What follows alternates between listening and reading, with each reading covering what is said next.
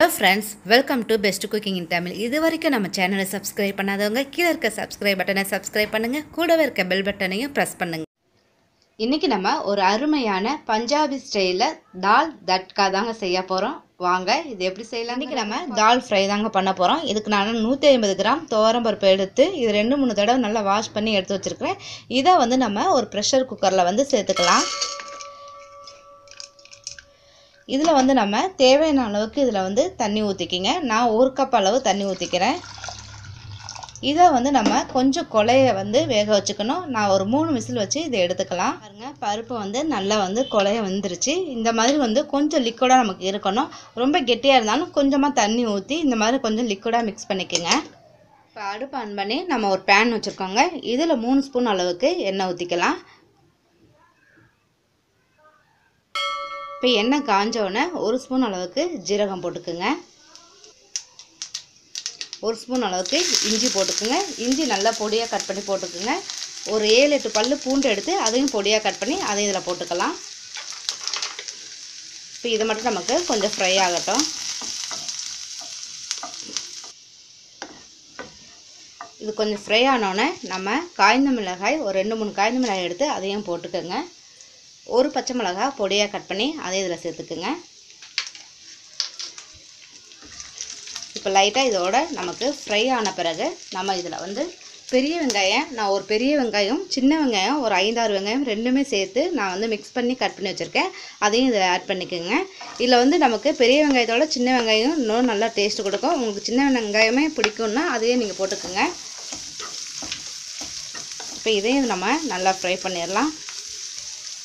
இதோட கொஞ்சமாக கருவேப்பிலையும் சேர்த்துக்குங்க. சேர்த்துட்டு வெங்காயம் வந்து ஜஸ்ட் இதில் வந்து கொஞ்சம் நமக்கு வதங்கட்டும். இப்போ வெங்காயம் வந்து நமக்கு கொஞ்சம் ஃப்ரை ஆனோடனே நம்ம தக்காளி ஆட் பண்ணிக்கலாங்க. ஒரு தக்காளி வந்து கட் பண்ணி சேர்த்துக்குங்க. நமக்கு ஏன்னா கொஞ்சம் புளிப்புத்தன்மை நமக்கு வேணும். ஸோ அதுக்காக நம்ம இதில் தக்காளி ஆட் பண்ணிக்கிட்டோம். இதை வந்து நம்ம என்ன பண்ணுறோம் ஒரு மூடியை போட்டு ஒரு அஞ்சு நிமிஷம் மட்டும் வச்சுருங்க. தக்காளி வந்து நமக்கு நல்லா குழஞ்சி வெந்துடும் இப்போ நம்ம இதை ஓப்பன் பண்ணிடலாங்க.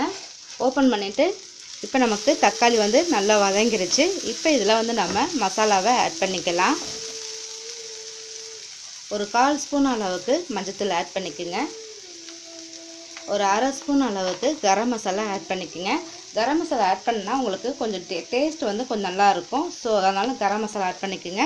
காரத்துக்கு ஏற்ற மாதிரி மிளகாய்த்தூள் ஆட் பண்ணிக்கோங்க. நான் ஒரு ஸ்பூன் அளவுக்கு மிளகாய்த்தூள் ஆட் பண்ணிக்கிறேன். இப்போ இது ஃபுல்லாகவே நல்லா மிக்ஸ் பண்ணிடலாம். இதோட பச்சை வசனம் ஜஸ்ட் ஒரு ரெண்டு நிமிஷம் மட்டும் வதக்குனா போதும் நமக்கு. இப்போ நம்ம இதில் வேக வைத்த பருப்பை வந்து இதில் போட்டுடலாங்க. இதோட நீங்கள் தண்ணியும் கொஞ்சம் ஆட் பண்ணிக்கோங்க. இது வந்து நமக்கு ரொம்ப கெட்டியாக இருக்குது ஆனால் தால் பொறுத்த வரைக்கும் எப்போவுமே நமக்கு கொஞ்சம் கெட்டியாக தான் இருக்கும். ஸோ ஆனால் நம்ம கொஞ்சமாக தண்ணி ஆட் பண்ணிவிட்டு ஏன்னா நமக்கு இது ஒரு கொதி வந்துச்சுன்னா இன்னும் நமக்கு நல்லா கெட்டியாயிரும். அதனால் நம்ம கொஞ்சமாக தண்ணி ஆட் பண்ணிவிட்டு இது ஃபுல்லாகவே நல்லா மிக்ஸ் பண்ணிடுங்க இப்போ இதில் தேவையான அளவுக்கு நம்ம இதில் உப்பு சேர்த்துடலாங்க. உப்பு சேர்த்துட்டு இதை வந்து ஒரு ரெண்டு நிமிஷம் மட்டும் ஒரு ஒரு கொதி மட்டும் வரணும். அவ்வளோதான் இதில் கொஞ்சம் போல் மல்லி இலையை மட்டும் லைட்டாக தூவிக்குங்க. தூவிட்டு இதை மட்டும் மூடி போட்டு ஒரு ரெண்டு நிமிஷம் மட்டும் இதை அப்படியே வச்சிடலாம். பாருங்கள் இப்போ நம்ம ஓப்பன் பண்ணிடலாம். இப்போ நம்ம என்ன பண்ணுறோம்னா அடுப்பை ஆஃப் பண்ணிடுவோம். ஆஃப் பண்ணிவிட்டு இதில் கொஞ்சம் போல் பெருங்காயத்தூள் வந்து தூவிடுங்க. கடைசியாக இந்த மாதிரி ஆஃப் பண்ணிவிட்டு தூவுறனால உங்களுக்கு வாசனை வந்து இன்னும் அதிகமாக இருக்கும். ஒரு அருமையான பஞ்சாபி ஸ்டைலில் நம்ம தால் தட்கா வந்து செஞ்சுட்டோம். கண்டிப்பாக இது ட்ரை பண்ணுங்கள் இது வந்து என்னென்னா சப்பாத்தி பூரி உங்களுக்கு வந்து இதில் ரைஸ் கூட வச்சு சாப்பிட்றதுக்கு ரொம்ப அருமையாக இருக்கும். கண்டிப்பாக ட்ரை பண்ணி பார்த்துட்டு உங்கள் கமெண்ட்டை கமெண்ட் பாக்ஸில் தெரிவிங்க. லைக் பண்ணுங்கள் ஷேர் பண்ணுங்கள் மறக்காமல் சப்ஸ்கிரைப் பண்ணுங்கள் Thank you, viewers.